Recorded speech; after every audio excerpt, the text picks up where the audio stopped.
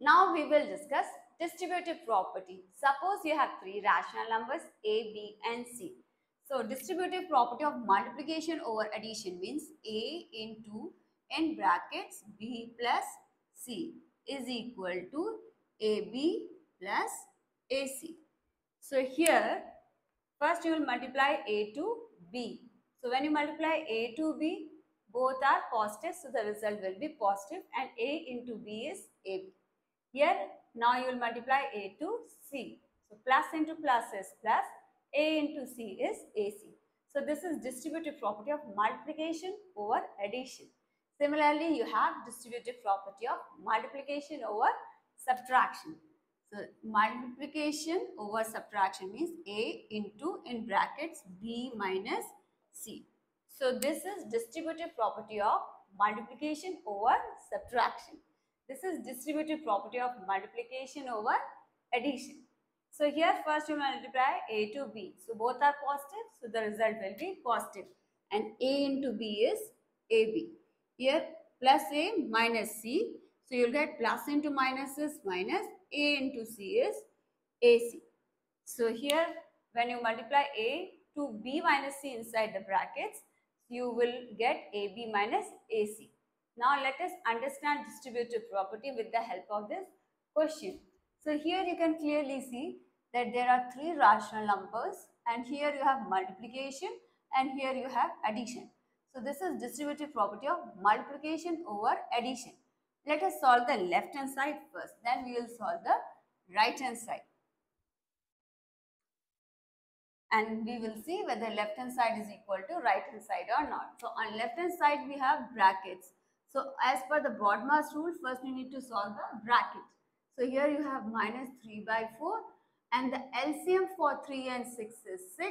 So here you have to multiply both numerator and denominator by 2. So you get 4 by 6. And here you have plus of minus 5 by 6.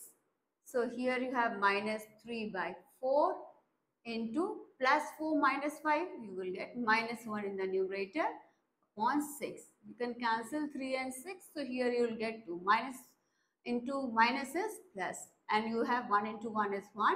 Denominator 4 into 2 is 8. So on left hand side you got 1 by 8. Now let us solve the right hand side.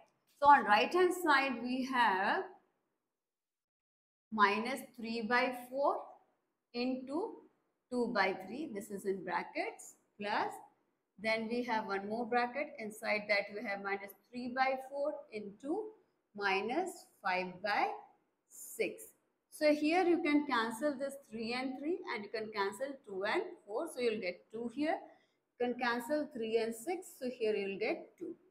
So here minus into plus is minus and you have 1 in the numerator, 2 in the denominator because 2 into 1 is 2. So here you have minus 1 by 2 here minus into minus is plus and numerator, my, here it is only 5.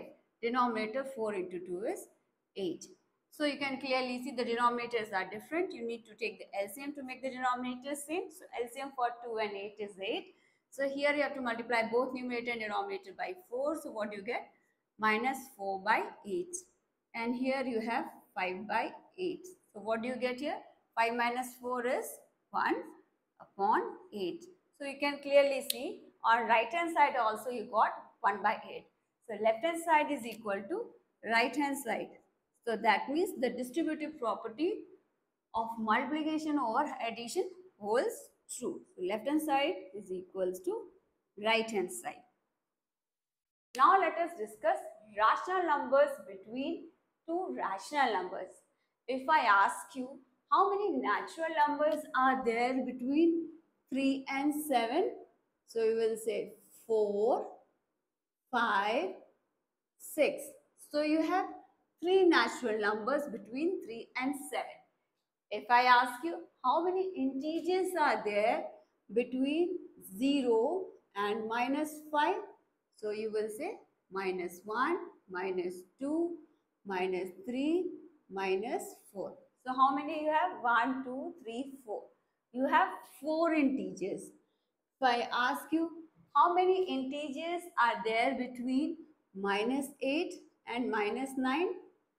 So you can clearly see that there are no integers. That means there is zero integers. So if I ask you how many natural numbers are there, how many integers are there between two given natural numbers or two integers, that set is finite. You can count and tell. But what about rational numbers? Let us understand this with the help of one example. Suppose you have 0 and you have 10. If I ask you how many rational numbers are there between 0 and 10? So you will say 9. That is 1, 2, 3, 4, 5, 6, 7, 8, 9.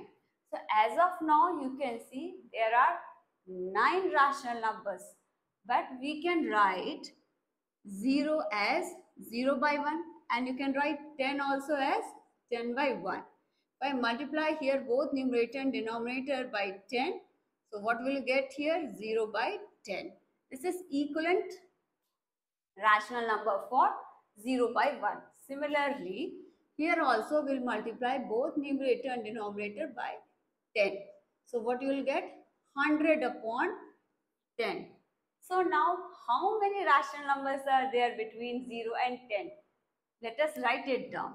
So greater than 0 by 10 we have 1 by 10, 2 by 10, 3 by 10 and so on till 99 by 10.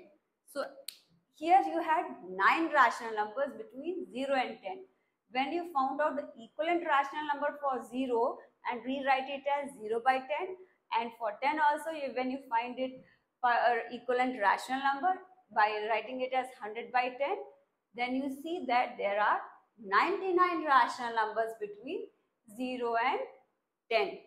Let me multiply now here both numerator and denominator by 100. So what will you get here? When you multiply by 100 you get 0 upon 100. And here when you multiply both numerator and denominator by 100, what you will get here? 1000 upon 100. So now how many rational numbers are there in between 0 and 10? It will start from greater than 0 upon 100 is 1 upon 100. Then you have 2 upon 100. Then you have 3 upon 100 and it will continue till 999 upon 100. So this time you have 999 rational numbers between 0 and 10. You keep multiplying by multiples of 10 to both 0 and 10. You, the number will keep on increasing. So what we can say? We can say that there are infinite rational numbers between two given rational numbers. There is one more concept to explain this point that how many rational numbers are there between two given rational numbers is the mean concept. This concept I have explained in class 9 number system whose link I have given in the description box below. Interested students can go and check out there. There also you will find that between two given rational numbers there are infinite rational numbers.